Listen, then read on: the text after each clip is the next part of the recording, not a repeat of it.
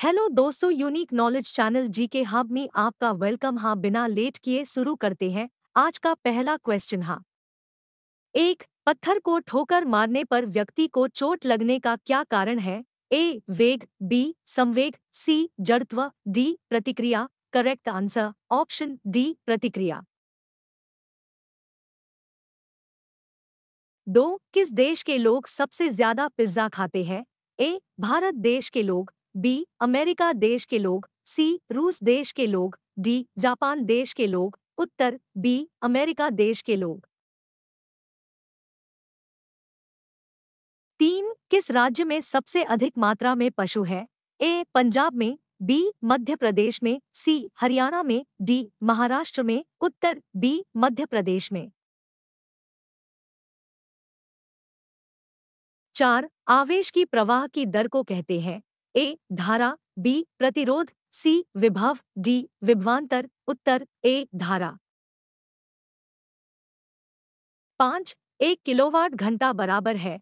ए, तीन दशमलव छह बै दस डिग्री जूल, बी, दस जूल, सी, छत्तीस बै दस फीट जूल, डी, एक सौ पाँच जूल, उत्तर, ए, तीन दशमलव छह बै दस डिग्री जूल। छः विभवांतर मापने के लिए किस युक्ति का उपयोग होता है? Dot, A, ammeter, B, voltameter, C, voltmeter, D ohmmeter Uttar, C, voltmeter. सात, यदि वायुमंडल नहीं हो तो पृथ्वी से आकाश किस रंग का दिखाई देगा? ए, काला, बी, नील, सी, नारंगी, डी, लाल, उत्तर, ए, काला। आठ, निकट दृष्टि दोष शॉर्ट साइडनेस सही की जा सकती है डॉट ए उत्तलावतल लेंस से बी उत्तलो उत्तल लेंस से सी उत्तल लेंस से डी अवतल लेंस से, उत्तर डी अवतल लेंस से। नौ, सामान्य आँख के लिए सुस्पष्ट दृष्टि की न्यूनतम दूरी होती है। ए, दस सेंटीमीटर बी पंद्रह सेंटीमीटर सी पैंतालीस सेंटीमीटर डी पच्चीस सेंटीमीटर, उत्तर डी 25 सेंटीमीटर। दस, फोटोग्राफी में उपयोग किया गया प्रकाश संवेदी यौगिक है। ए, silver chloride, B, silver sulphide, C, silver bromide, D, silver oxide, उत्तर सी सिल्वर ब्रोमाइड। ग्यारह, आँख में प्रवेश करने वाले प्रकाश की मात्रा का नियंत्रण होता है। ए पुतली के द्वारा बी, परितारिका के द्वार, सी, श्वेत पटल के द्वारा, डी, आँख के लेंस के द्वारा, उत्तर, बी, परितारिका के द्वार। बारह, कार के हेडलाइट में किस दर्पण का प्रयोग किया जाता है? ए, समतल, बी, गोलीय उत्तल, सी, परवल्याकार अवतल, डी, समतलोत्तल, उत्तर, सी, परवल्याकार अवतल। तेरह एक मनुष्य अपने सिर पर बोझ लिए खड़ा है तो उसके द्वारा किए गए कार्य की मात्रा होगी। ए, बोझ के बराबर। बी, बोझ से दूना। सी, बोझ का आधा। डी, शून्य उत्तर। डी, शून्य। चौदह, यदि किसी वस्तु के वेग को दूना कर दें तो उसकी गतिज ऊर्जा होगी। ए, चौगुनी। बी, दुगुनी। सी, आठ गुना। डी, समान। उत्तर। ए, चौगुनी।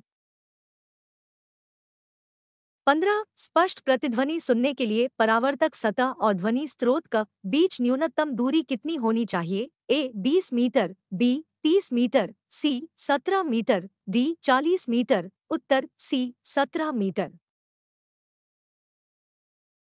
सोलह, स्त्रियों की आवाज़ पुरुषों की अपेक्षा पतली होती है, क्योंकि स्त्रियों की आवाज़ ए, की आवृत्ति अधिक होती है, बी, की तरंग दैर्ध्य अधिक होती है। सी का वेग अधिक रहता है डॉट सी का आयाम अधिक होता है।